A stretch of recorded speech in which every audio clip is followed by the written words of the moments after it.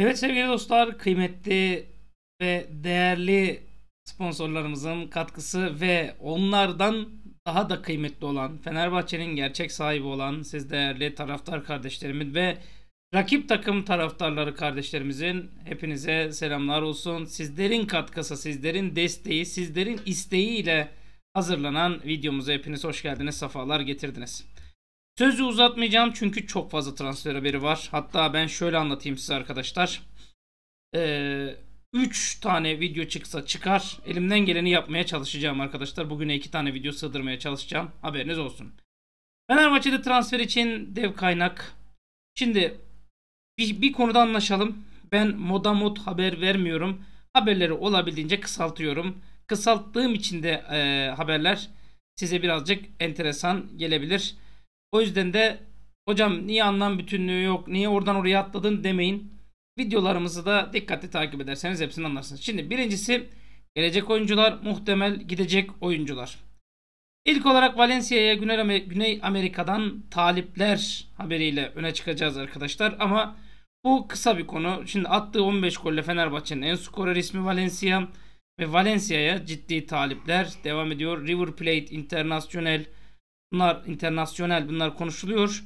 Kadrosuna katmak istiyorlar. Teklif bekliyoruz.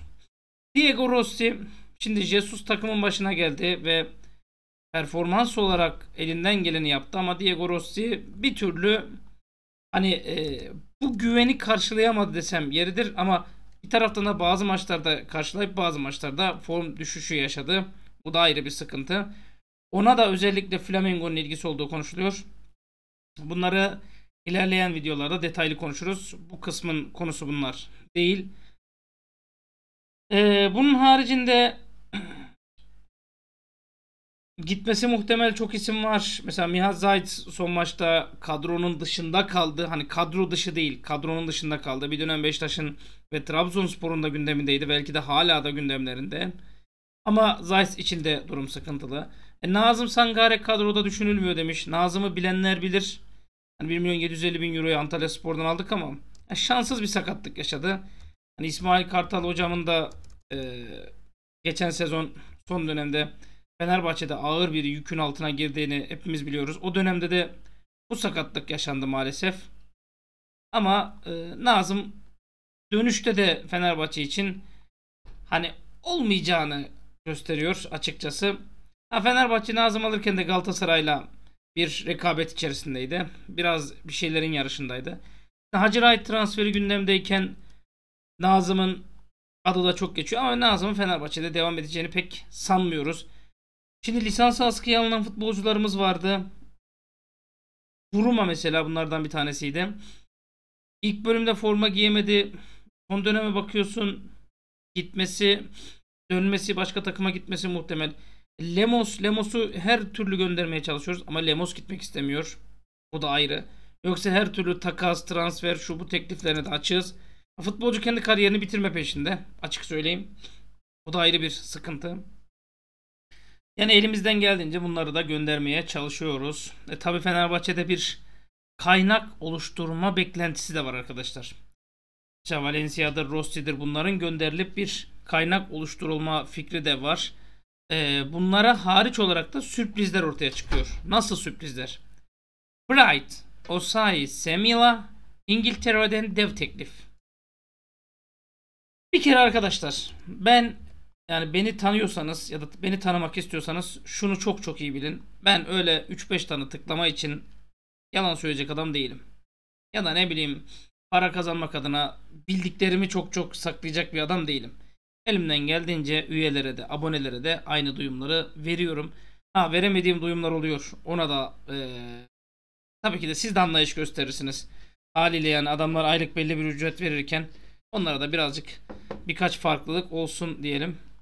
Ama sizlere de elimden geleni veriyorum. Şimdi o sahi Samuel ile ilgili. Haber ortaya atıldı. Premier Lig'den talip çıktı denildi.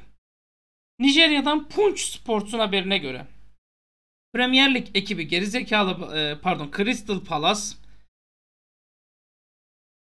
Osayi Samuel için Fenerbahçe'ye 11.3 milyon euroluk bu arada sabahleyin 11.2 idi. E, akşam üzeri 11.3 olmuş. Ulan euro bu kadar hızlı mı artıyor? Ne neyse 11.3 milyon euroluk yani 10 milyon poundluk teklif sundu. Teklife dair cevap belirtilmese de transferin bitmesinin beklendiği vurgulandı. Bir kere şunu söyleyeyim. Olur da bir gerizekalı ta- e, şey yani bir güzel bir takım, muhteşem bir takım, kendisine hayranlık besleyeceğimiz müthiş bir takım. Eğer o sahi Samuel'e 11.2 milyon euro veriyorsa yanında Lemos'u vermiyorsanız FETÖ'cüsünüz. Çok net. 15 Temmuz girişimini siz başlattınız. Eğer böyle bir şey sunuluyor da vermiyorsanız. Ne bileyim dış minnak sizsiniz. Her şey sizsiniz. Her türlü pislik sizden çıkıyordur. Ya 11.2 milyon Allah aşkına. Bak Glasgow Rangers daha önce istedi. Ama e, Fenerbahçe fiyatı yetersiz buldu. 500-800 508 bin euroya aldık. Çünkü 2025 yazına kadar sözleşmesi var. E, 2021 Ocak'ta Queen's Park Rangers'tan adamların isimleri bak ne kadar güzel. Queen's Park Rangers. Bizde ne Galatasaray. Adamların isimlendirmesinin güzelliğine bak. Queen's Park Rangers'tan alınmıştı. 88 maçta 9 golü etki. 24 yaşında 88 maça çıktı. 3 gol 6 asist yaptı. Şimdi 11.3 milyon euroluk teklif külliyen yalan. Hocam doğrusu ne ya? Hadi, hadi hocam. Hadi videoyu beğeneceğiz. Söz veriyoruz. Vallahi mı? Vallahi hocam. Abone de olacaksınız. Söz mü? Söz. Sözünü tutmayan namert olsun mu? Galatasaraylı olsun mu sözünü tutmayan? Has Galatasaray taraftarı olsun. Sözünüzü tutmazsanız. Ben diyorum ki hani şimdi üyelere verdiğim duyumu da direkt moda modda vermiyorum kural gereği ama hissi konuşayım. Ben diyorum ki Queen's Park Rangers resmi teklif yapmıştır. Yapmıştır yapmasına ama bu teklif 4.2 milyon euroyu e, ne iner ne çıkar. Yani o derecededir diye düşünüyorum. Bence 4.2 de çok iyi. Vallahi bence çok iyi. Şimdi bakın Fenerbahçe'de gündem 2 yıldızın transferi haberi. Bu arada bir şey de söyleyeceğim. Hakikaten bak ben bu haberleri hazırlarken canım çıkıyor. Bir, bir buçuk saatimi alıyor. Hazırlamak. Yani bir saate yakın süremi alıyor. Çünkü onu ondan birleştir. Onun arkasına bunu ekle. Bunun arkasına bunu ekle. Ben derste de böyle yapıyorum. O konuların arkasına bir şey konu. Şimdi gündem iki yıldızın transferi. Ancak hangi iki yıldızın? Bence iki yıldızın değil üç yıldızın transferi. Üç tane yıldız transferinden ikisinin transferi. Şimdi Samet Akaydın transfer edildi. Hayırlı uğurlu olsun. Peki Fenerbahçe'nin şu andaki sıkıntısı Samet Akaydın mı? Değil. Hacı Wright.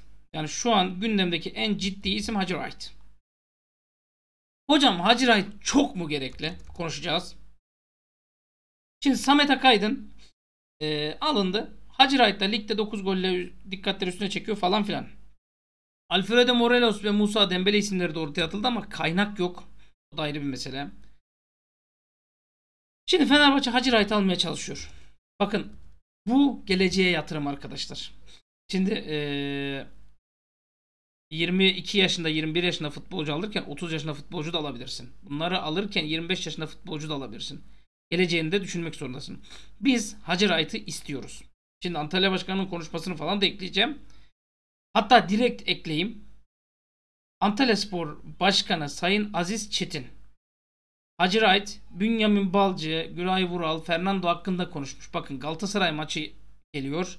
Türkiye Kupası'nda elenmişler. Çok güzel, çok şükür. Çok iyi, iyi, iyi elenmişler. Tebrik ediyorum. Çünkü onların elenmesi biraz da hırsa getirecektir inşallah.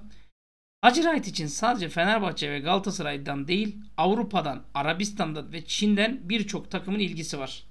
Bizim için en iyisi neyse ona göre karar vereceğiz demiş. Belirlediğimiz bonservis bedeli 10 milyon euro. Tabi bunun öncesinde de hani ilk devreyi bir maç eksikle 18 puan 15. sırada tamamlamışlar falan filan. E, puan olarak istediğimiz yerde değiliz. Üst üste sakatlıklar falan filan demiş de. Bakın sadece Fenerbahçe'nin Galatasaray'ın değil e, Avrupa'dan, Arabistan'dan ve Çin'den birçok takımın ilgisi var diyor.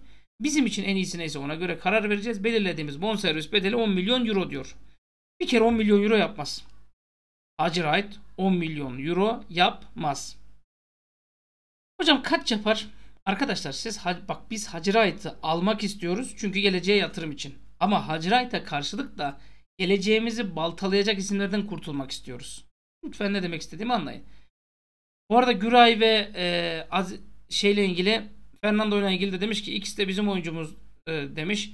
Bünyamin Balcı Türkiye'den gelen bir teklif yok sadece yurt dışından teklif var demiş. Bak Bünyamin Balcı konusunda. Bu doğru değil.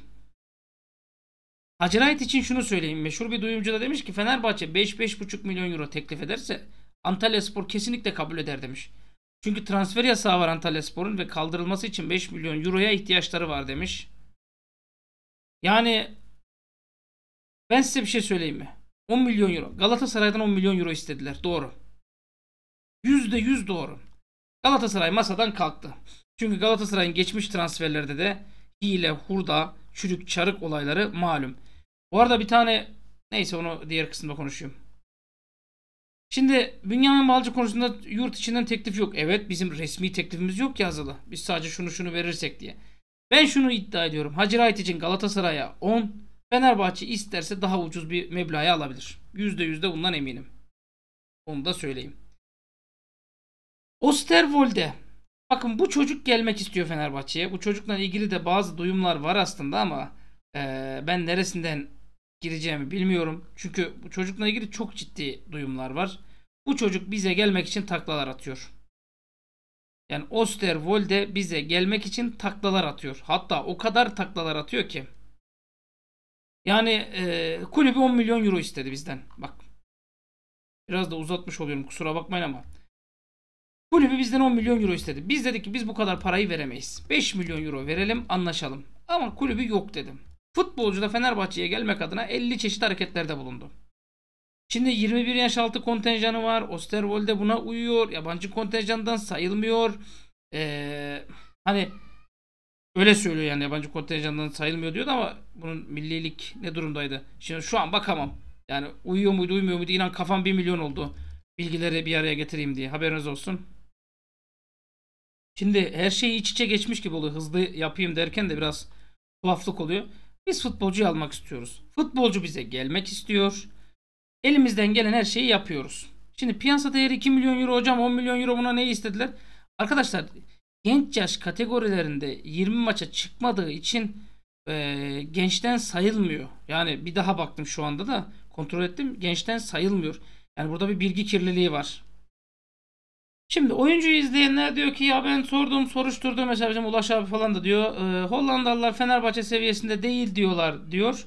Arkadaşlar ben futbolcunun skills videosunu izledim. Burada bir çay içmem lazım. Normalde durdurup durdurup içiyorum ama burada içmem lazım. Şimdi biz 5 milyon euroya çıktık. Takım 8 milyon euroya kadar düştü. Biz 5 milyon euro artı sonraki satıştan %15 teklif ettik. Net 10 milyon euro isteyen Parma 8'e düştü. Ve arkadaşlar hani ben şunu söyleyeyim. Fenerbahçe Osterwolde'yi almak isterken Alioski'yi de göndermek istiyor. Yani her an kusura bakmayın ya öksürük tutuyor. Yine kusura bakmayın öksürük çok şey tutuyor yani. Yani ya bu nasıl bir öksürükmüş arkadaş. Allah herkese şifa versin. Yani Alioski diye bir adam var Fenerbahçe'de sol bek. Bir bakmışsınız Alioski sen öpüşki umma yo başkaydı. Şey Alioski sakatlanabilir, gidebilir, ne bileyim aile bir sorunlar olabilir. Kaynanası doğum yapıyor olabilir. Her türlü gelişmeye açık olun. Ee, hani Alioski giderse zaten Osterwolde konusunda da bu kadar öksürmenin şey bu kadar duyumun gerekçelerini anlamış olursunuz. Ama en son toparlayayım. Son haberimi de vereyim. Fenerbahçe'ye yeni Elif Elmas sürprizi. Sürpriz hamle. Gol yollarına takviye yapmak adına partizan forması giyen genç yetenek Samet Bazdar'la ilgilendiği belirtildi demiş. Günaydın. Günaydın. Yaklaşık iki ay önce Mustafa Hoca tandemli, tandemli e, müthiş bir duyumdu bu. Müthiş bir operasyondu bu. Teşekkür ediyorum. E, Novi Pazarlı Samet'ten bahsediyoruz arkadaşlar. Şimdi Beşiktaş'ta da anıldı, başka takımlarla da anıldı. E, 18 yaşındaki oyuncunun çok sayıda talibi var. Juventus'u reddetmişlerdi. Partizan'da oynuyor çocuk. Yaz aylarında Juventus'tan 1 milyon euroluk teklif geldi. Reddedildi. İtalyan ekibi Fiorentina e, araya girdi. Hoffenheim oyuncunun transfer adına girişimlerde bulunuyor. Kuzey Makedonya ekibi Rabotniçki'den Elif Elmas'ı Fenerbahçe kadrosuna katmıştı ve muhteşem bir gelir elde etmişti. muhteşem bir futbolcuyu dünya piyasasına sunmuştu bir nevi. Sonrasında Novi Pazar doğumlu Samet Bazdar için de benzer bir durum hedefleniyor. 18 yaşındaki oyuncu transferi konusunda hızlı davranmak istiyoruz. Bu sezon 16 maça çıkmış ligde 4 gol 1 asistlik katkısı var. Sözleşmesi Haziran 2026'da sona eriyor. Ya hocam bu çok mu gerekli? Çok mu önemli? Biz Samet bak arkadaşlar Samet Bazdar'la ilgili şunu söyleyeyim size. Bak Samet Bazdar'la ilgili. Futbolcuyla Hoffenheim ve Fiorentina da ilgileniyor. Başka hiçbir şey söylemiyorum. Başka hiçbir şey söylemiyorum. Gereken CV'yi aldınız mı? Bırakın Fenerbahçe bir kafasını toplasın. Bırakın Fenerbahçe elinden geleni yapsın arkadaşlar. Bakın bunlar çok çok önemli transferler. Bunlar her an her şeye gebe transferler. Benden söylemesi. Ve inşallah da bu transfer hakkımızda hayırlısı olur. Kısa bir toparlama yapıyorum. Kusura bakmayın. Osayi için söylenenler çok doğru değil. Belki de üçte bir fiyatına anca teklif vardır. Ama gitmesi muhtemel isimlerden mi? Değil. Şu an için değil. İyi de hocam bal yapmayan arı ya o arıyı bal yaptırmaya çalışıyoruz ya da fiyatını arttırmaya çalışıyoruz. Bünyamin transferi olursa prensipte anlaşırsak o zaman gidebilir. Hacı Knight için ben gelir de demiyorum gelmez de demiyorum. Bekleyin eldekileri çıkartabilirsek. Bünyamin için de eğer Osterwolde olmazsa Bünyamin'i düşünüyoruz. Ama Osterwolde olsa bile Bünyamin ihtimali var. Kulüp başkanının siz teklif yok dediğine bakmayın. Resmi teklif yok ama başkanlar arasında görüşme. Valencia'ya teklifler var. Şu an düşünüyor Valencia. Valencia'da her an son dakika gelişmesine hazır olun. Rossi, e, Zayt gitmesi muhtemelen ama onu diğer kısımda konuşacağım. Çok detaya orada gireceğim. Nazım'ı ben Fenerbahçe geleceğini görmüyorum. Buruma Lemos'un Fenerbahçe gelecekleri zor.